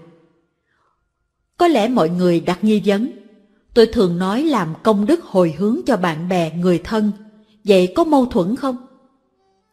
Thật ra không có mâu thuẫn. Tôi nói thí dụ người thân qua đời, chúng ta trợ niệm giúp họ, đó là vì thần thức linh hồn của người chết vẫn còn. Chúng ta niệm Phật, họ nghe thấy nên họ cũng niệm Phật theo chúng ta. Cho nên chúng ta có trợ giúp cho họ. Cũng có người vì bản thân gặp hoàn cảnh khó khăn nên muốn giúp họ tiêu nghiệp liền đi lạy sám. Điều này có tác dụng không? Tất nhiên là có tác dụng. Nhưng phải làm cho người đó bằng lòng tin tưởng thì hiệu quả mới mạnh. Bằng không thì hiệu lực rất yếu. Đương nhiên, nguyên nhân lạy sám hối là có hiệu quả. Nhưng không phải nói chúng ta lại sám hối rồi thì quả báo tội nghiệp của mình thì có thể đổ cho Đức Phật Bồ Tát là xóa sạch hết cả. Các ngài không thể chịu tội báo thay cho chúng ta. Chỉ có năng lực giúp chúng ta là làm người đứng ra bảo đảm cam kết nợ nần chồng chất của chúng ta, tương lai sẽ trả hết dần dần. Trước tiên giúp cho chúng ta tạm thời vượt qua cửa ải khó khăn, hiện tại không đau khổ như thế. Chúng ta vẫn thường nghe nói, một người con xuất gia thì cửu huyền được siêu thăng. Thật ra là chỉ sau khi người con xuất gia có thể dùng nhiều phương thức để cầu siêu cho tổ tiên, thỉnh ông bà về cùng nhau nghe Phật Pháp, tham gia hoạt động cộng tu, cho nên đạt được lợi ích từ Phật Pháp. Giống như Đức Phật Thích Ca Mâu Ni sau khi thành đạo, Ngài lên cung trời đao lợi thuyết Pháp cho vong linh mẹ. Ngài cũng về Hoàng cung thuyết Pháp cho cha, giúp cho song thân được giải thoát. Đức Phật có thần thông quảng đại như thế, vẫn không thể làm tiêu trừ nghiệp chướng thay cho cha mẹ, chỉ có hướng dẫn cha mẹ tu hành. Huống gì chúng ta còn phàm phu tục tử. Vì thế, chúng ta không thể chịu quả báo thay thế cho bất cứ người nào, cũng chẳng có người nào chịu quả báo thay cho chúng ta. Chúng ta phải dựa đôi chân của chính mình, nỗ lực từng chút trong đời sống tu hành thì mới đáng tin cậy, mới đạt được giải thoát thật sự. Có rất nhiều người cầu thành tựu nhanh chóng, họ cho rằng tu hành cũng có thể đi đường tắt. Hèn nào ngày càng đông người tự phong mình là thầy, tự xưng mình có năng lực giúp cho mọi người khác khai ngộ chỉ trong thời gian rất ngắn, giúp cho mọi người đạt được mục đích thành Phật. Nếu như nói theo chánh tính Phật Pháp thì đúng là dối mình, dối người. Chúng ta đừng để mắc lừa nhé. Bài 10 giữ giới luật và tính không chấp trước. Tất cả danh lợi, tiền của, sắc đẹp ở thế gian, chẳng những người Phật tử chúng ta không bị đắm nhiễm mà còn phải tích cực cống hiến cho xã hội. Như thế mới là bộ mặt chân thật của Phật giáo. Hòa thượng nhất hưu uống rượu, ăn thịt. Hòa thượng Tế Công cũng là một người xuất gia có nhiều truyền kỳ sắc thái như thế. Hòa thượng Nhất Hưu là thiền sư Nhật Bản thuộc tông Lâm Tế, hệ phái Đại Đức Tự. Sư là một trong những thiền sư danh tiếng nhất của thiền tông Nhật Bản. Với phong điệu của một cuồng thánh, sư đã phá những phong cách tệ mạc trong những thiền viện lớn mà sư cho rằng đang trên đường tàn lụi. Cách sống và giáo hóa của sư vượt trên tất cả những tục lệ, và vì vậy có rất nhiều tích nói về sư, phần đúng, phần huyền hoặc. Hòa thượng Tế Công còn gọi là Tế Điên Tăng, Tế Điên Hòa Thượng. Câu chuyện của hai vị này khiến cho nhiều người cho là Phật Pháp đã dạy mọi người không có chấp trước, thì trong tâm không có chướng ngại.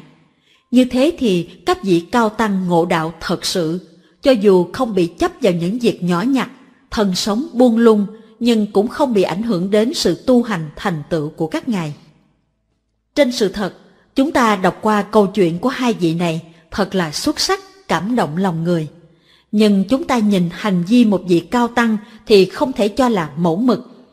Chúng ta phải biết Đức Phật là đấng giác ngộ, giải thoát, nhưng Ngài vẫn nghiêm trì giới luật và chưa hề buông lung. Khi Đức Phật Thích Ca Mâu Ni còn tại thế, do có nhóm 6 tỷ khưu, trước khi chứng quả A-la-hán, các thầy sống phóng túng, cho nên Đức Phật mới chế giới luật, mỗi giới để thúc liễm hành vi của họ.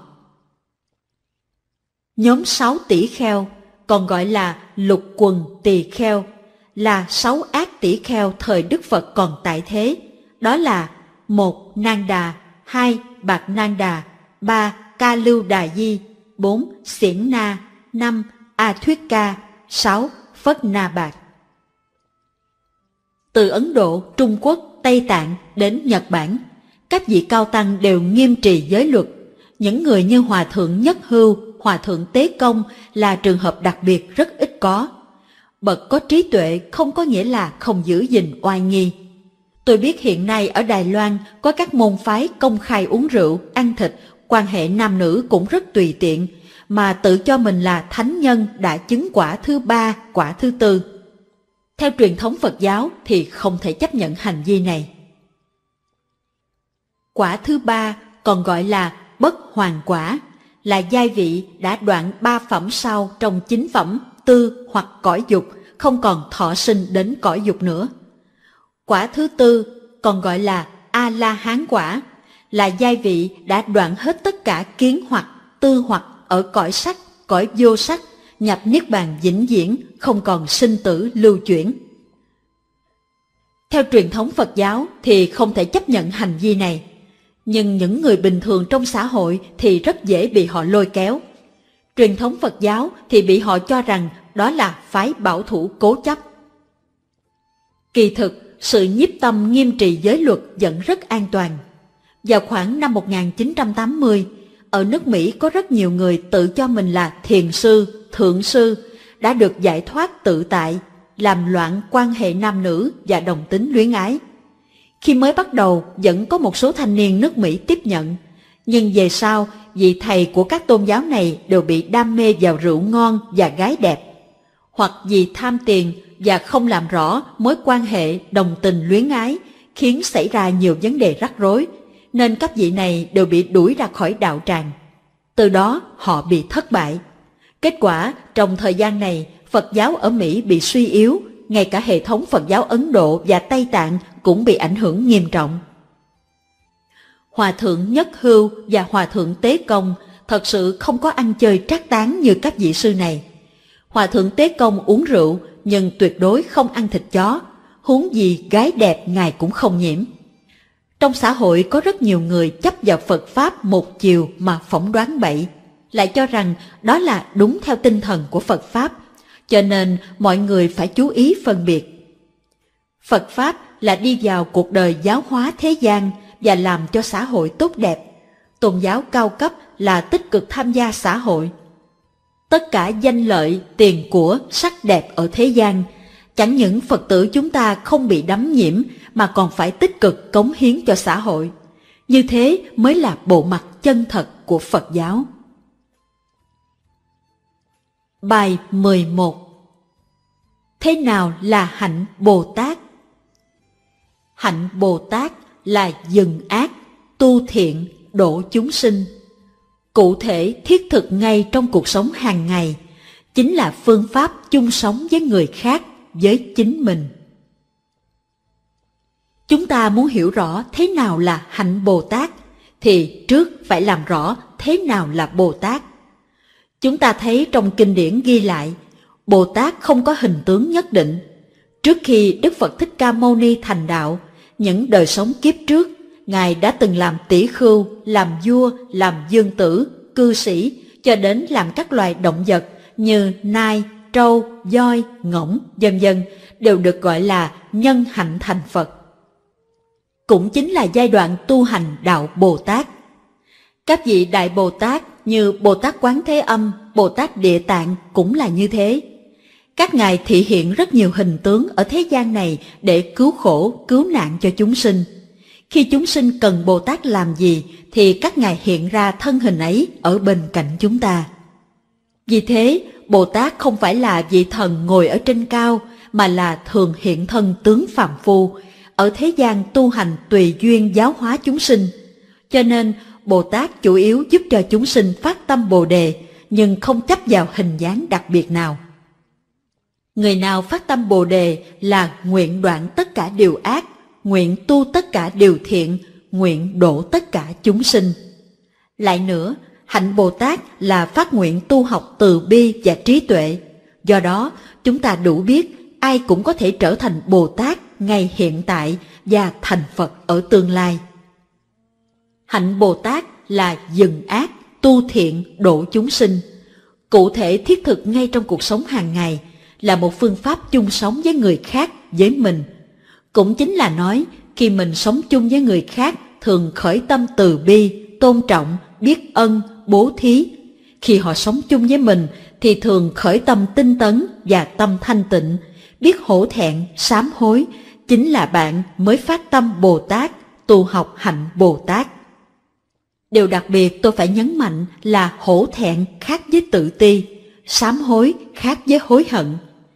Khi chúng ta xem xét lại tâm niệm và hành vi của mình, nếu như việc đáng làm mà chúng ta không chịu làm, liền cảm thấy hổ thẹn và biết khích lệ, quyết tâm lần sau cố gắng làm. Còn đối việc không đáng phạm mà phạm, thậm chí họ vừa phạm sai lầm lại phạm nữa. Nếu họ biết sám hối, một mặt có thể kịp thời tỉnh ngộ sửa đổi lỗi lầm, một mặt cũng đủ can đảm chịu hậu quả, không chối cãi chạy tội, đùng đẩy trách nhiệm. Do đó, tâm hổ thẹn, tâm sám hối là hành vi tích cực, tự khuyến khích mình, tự xét mình và tự thẹn mình không bằng người, tự cho mình ở đâu cũng không bằng người. Nhưng có người không ngừng phạm sai lầm lại liên tục hối hận là tuyệt đối không giống nhau. Còn có một điểm cần nhấn mạnh là phàm phu chúng ta phát những nguyện Bồ Tát rồi là hài nhi Bồ Tát mới phát tâm. Hài nhi thì phải đi chưa vững, té rồi lại đứng lên, đứng lên rồi lại té. Phải học tập từ từ, trưởng thành dần dần. Cho nên chúng ta không sợ phạm lỗi lầm, lại không nên sợ không đủ năng lực. Chỉ cần xác lập phương hướng, tâm ý đã định, phát tâm ngày càng tiến bộ thì nhất định có ngày được thành tựu viên mãn. Chúng ta phải biết, mới phát tâm tuy khó, nhưng giữ vững lâu dài tâm không thay đổi lại càng khó hơn.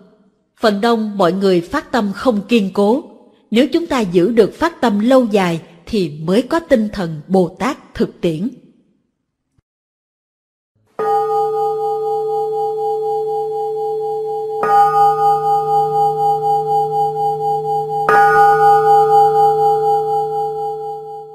Phần 2 Thích tham thiền ở ngã tư đường phố. Bài 1 Phiền não là nhân duyên trợ đạo Khi chúng ta đối diện khổ đau mà tìm cách thoát khỏi khổ đau đương nhiên là rất tốt. Nếu như chúng ta gắn gượng chịu đựng thì không có cách gì thay đổi được tình cảnh hiện tại. Chúng ta phải dùng tâm thái mạnh mẽ để đối diện nó, không oán giận, không tuyệt vọng, cũng không phải nhẫn nhục chịu đựng. Khi chúng ta cảm thấy có phiền não, có đau khổ là do không rõ hoàn cảnh, không hiểu nguyên nhân. Nếu như chúng ta hiểu rõ ngọn nguồn sinh khởi phiền não và khổ đau thì sẽ hiểu phiền não. Người tầm thường sẽ tự chuốc lấy đau khổ lại càng nhiều hơn. Chúng ta cũng có thể chuốc lấy điều đó.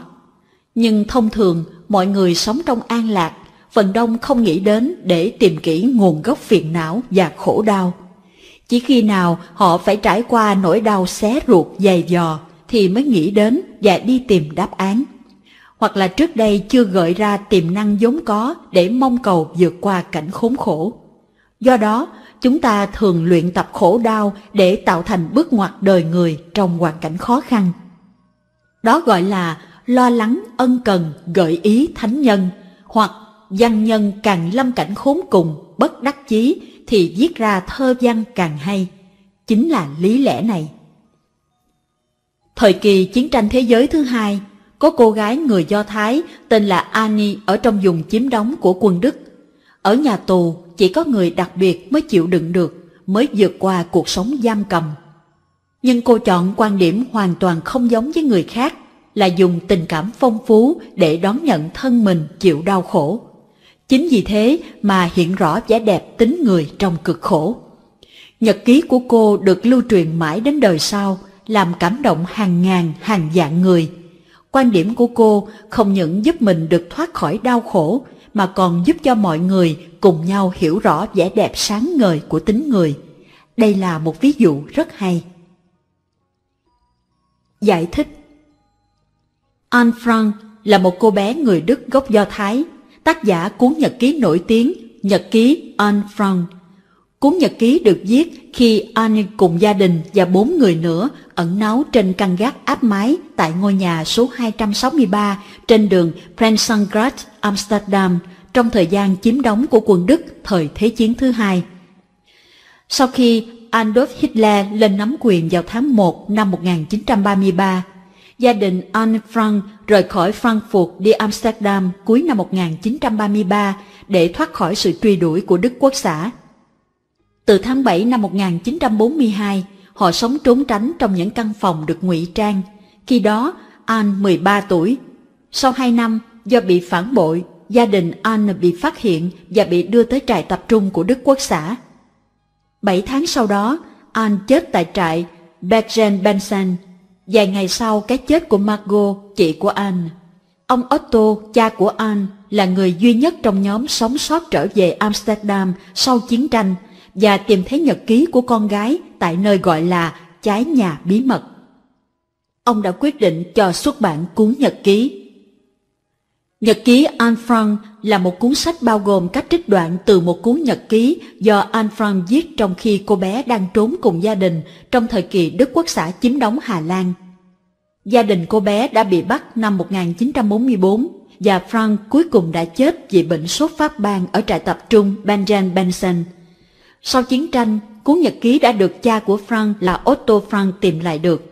Cuốn sách đã nhận được sự chú ý của công chúng và bình phẩm rộng rãi khi có bản dịch tiếng Anh với tên Anne Frank, The Diary of a Young Girl bởi Doubleday and Company Hoa Kỳ.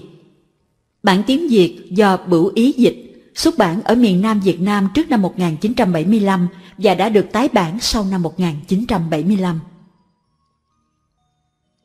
Ngoài ra, còn có một vị lạc ma người Tây Tạng Ngài bị giam trong ngục hơn 30 năm, trải qua rất nhiều cực hình. Ngài làm thế nào để chịu đựng được? Ngài nói, khi thấy cảnh cực hình chịu không nổi thì chỉ cần chuyển ý nghĩ. Đây chính là cơ hội tốt Ngài tu hành nhẫn nhục. Cũng nhân cơ hội này mà chịu khổ cho chúng sinh và làm tiêu trừ nghiệp chướng đời trước của mình. Tất nhiên, Ngài cũng không từ bỏ ý chí tìm cách sống. Cuối cùng, Ngài vẫn không nề cực nhọc dần dần Ngài trốn được đến ở nước Tây Phương. Cho nên, chúng ta hiểu được ý nghĩa khổ đau thì khổ thế nào cũng chịu đựng được. Khi chúng ta đối diện khổ đau mà tìm cách thoát khỏi khổ đau, đương nhiên là rất tốt. Nếu như chúng ta gắn gượng chịu đựng thì không có cách gì thay đổi được tình cảnh hiện tại. Chúng ta phải dùng tâm thái mạnh mẽ để đối diện nó, không oán giận, không tuyệt vọng, cũng không phải nhẫn nhục chịu đựng. Đây mới là từ trong đau khổ thật sự để mình trải nghiệm và trưởng thành.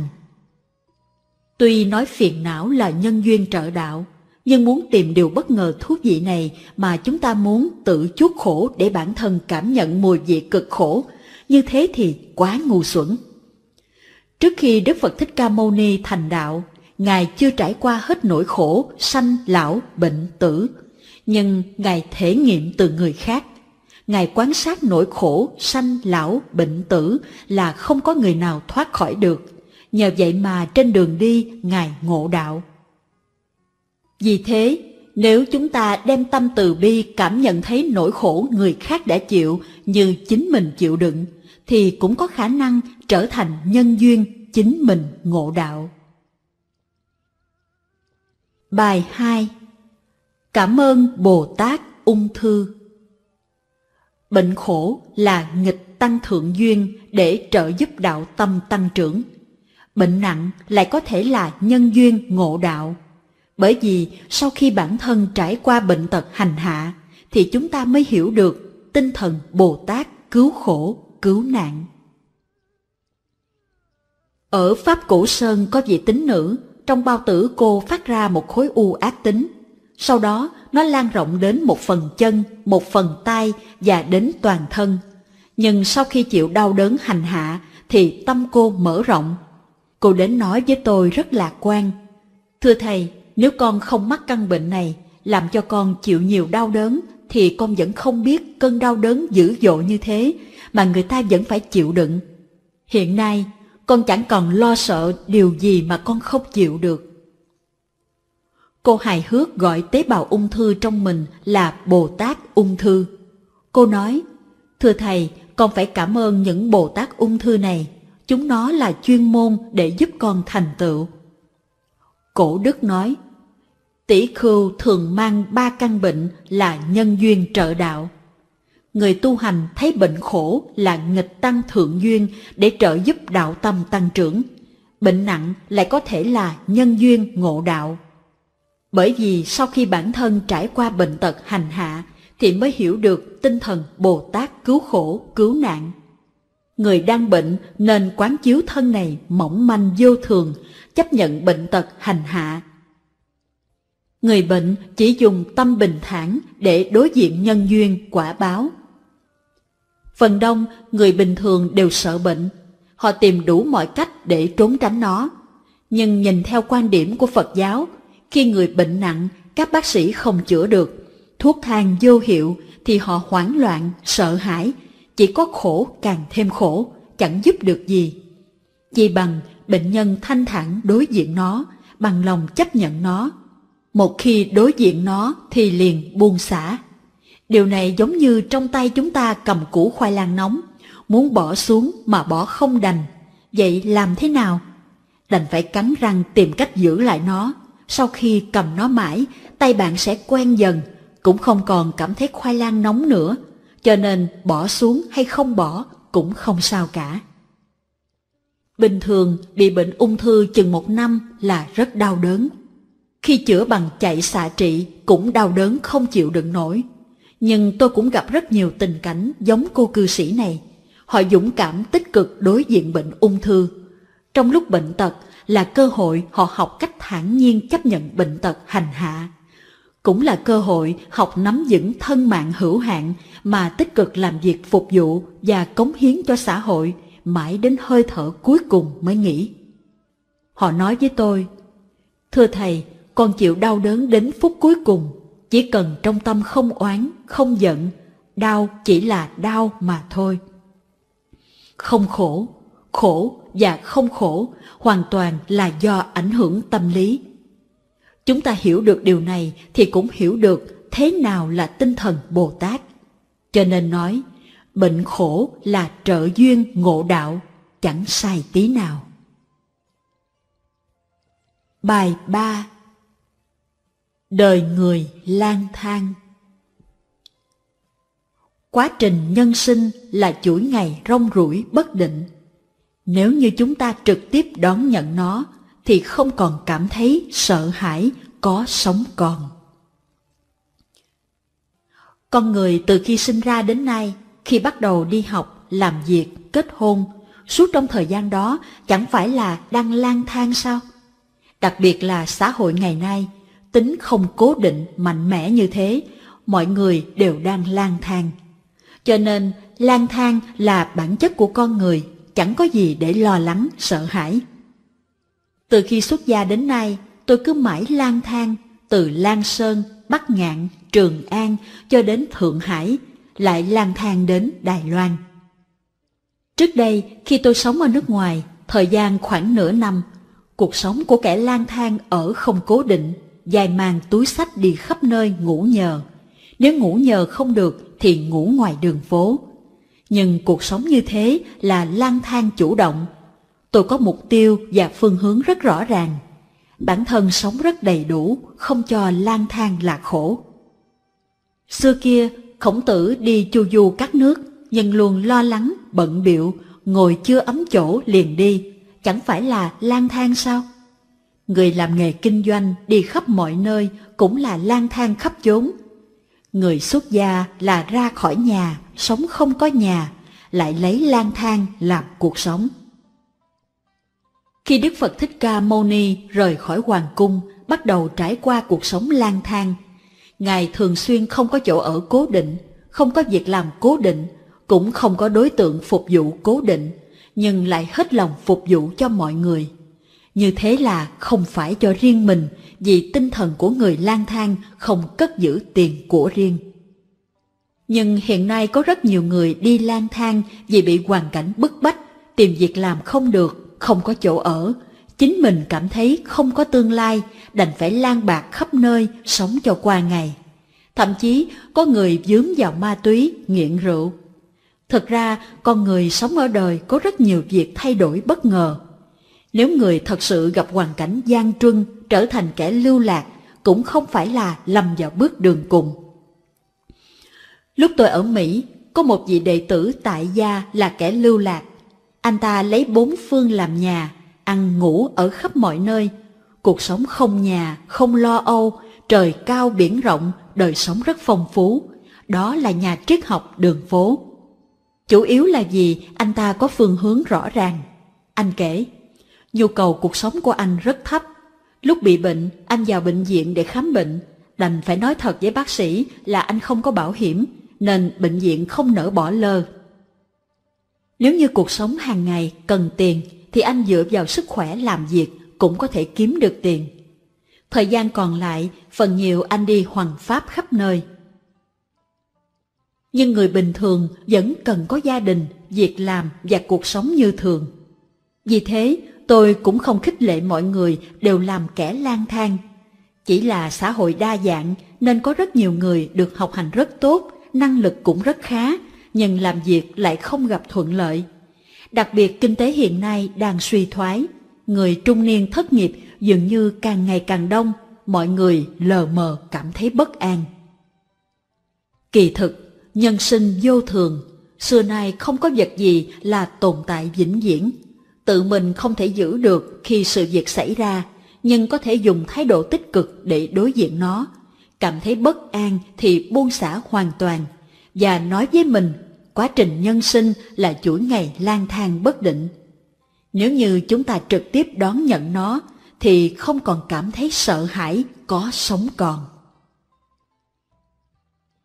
Bài 4 Nhắc đến để buông xả Học như thế nào để quản lý mình tốt? Làm thiện, dừng ác, vì gia đình, vì xã hội mà tròn bổn phận. Mấy năm gần đây, tôn giáo ở trong nước bị tai tiếng không ngừng, làm cho mọi người trong xã hội hiểu lầm tôn giáo, đặc biệt là Phật giáo lại bị rất nhiều. Nguyên nhân này vì có rất nhiều đệ tử Phật giáo tự cho mình tin Phật giáo, tự cho mình đang tu hành. Thật ra họ nhận thức Phật Pháp không rõ ràng, hiểu cũng không chính xác, lại không theo đúng Phật Pháp để thực hành. Vì thế, chúng ta tin Phật, học Phật, quan trọng nhất là cuối cùng tin như thế nào, học như thế nào. Đức Phật là chỉ cho người có nhân cách hoàn hảo, cũng chính là người có trí tuệ và từ bi đều viên mãn. Chúng ta học Phật là phải học theo gương trí tuệ và từ bi của Đức Phật.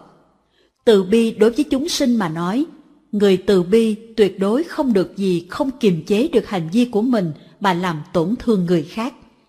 Người từ bi có thể giúp cho người khác sống chung với mình, cùng làm việc với mình, vừa cư xử khéo léo đạt được lợi ích, gặp thời cơ thích hợp thì khuyên bảo người khác ân cần hoặc giúp đỡ họ.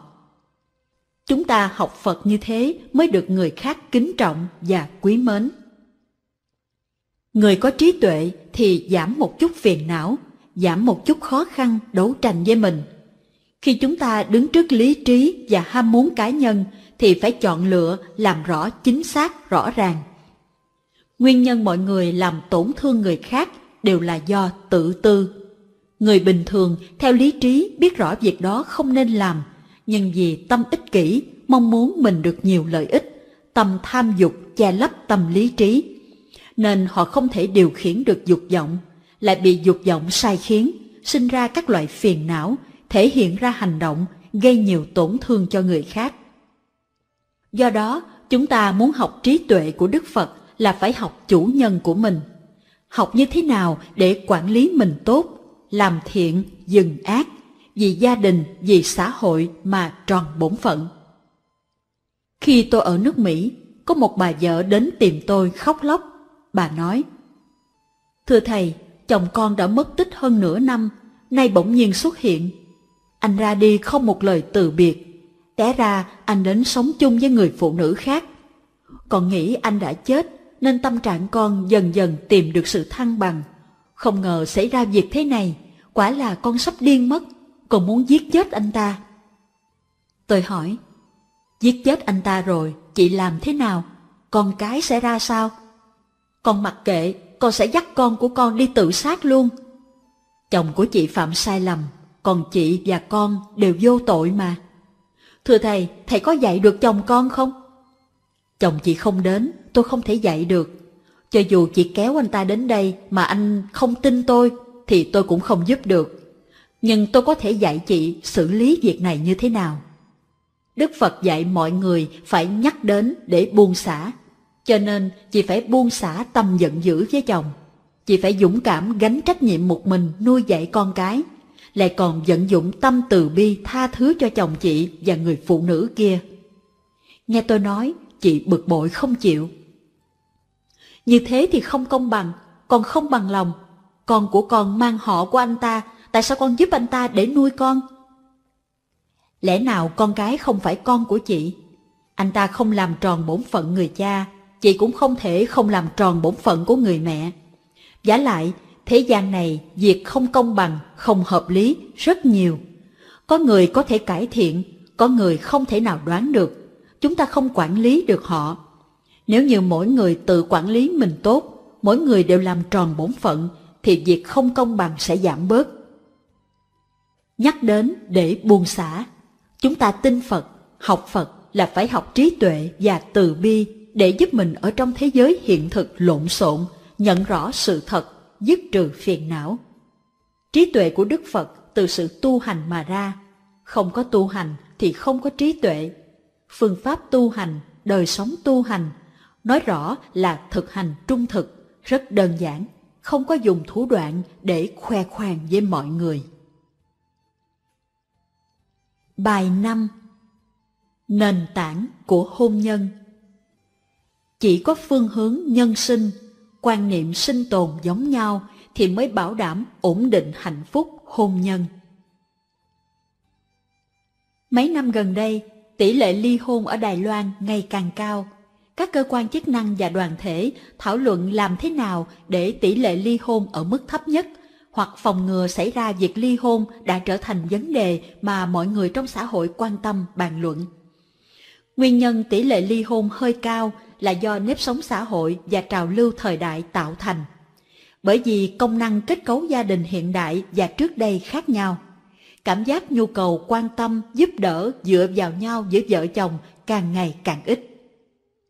Trước đây, con gái kết hôn là vì tìm người giàu có để nương tựa lâu dài cả đời người. Thế nhưng ngày nay, cơ hội vợ chồng cùng đi làm kiếm tiền bằng nhau. Con gái có năng lực mưu sinh độc lập, càng ngày càng phổ biến. Nhưng cách nghĩ này sẽ sớm lạc hậu. Lại thêm hoàn cảnh cả vợ chồng tiếp xúc không giống nhau, cách nghĩ khác nhau tạo thành đồng sàng dị mộng. Về mặt tinh thần, quan niệm, tín ngưỡng, thói quen chung càng ngày càng ít, ở đâu cũng thấy. Bởi vì vợ chồng không cùng quan niệm, tín ngưỡng, phương hướng, cho nên không thể sống chết cùng nhau, không thể chồng bảo vợ nghe. Thậm chí có rất nhiều người vẫn chưa kết hôn mà có nói thế này. Tìm một người kết hôn, nếu sau này không hợp nhau thì ly hôn là cùng. Chỉ có phương hướng nhân sinh, quan niệm sinh tồn giống nhau thì mới bảo đảm ổn định hạnh phúc hôn nhân.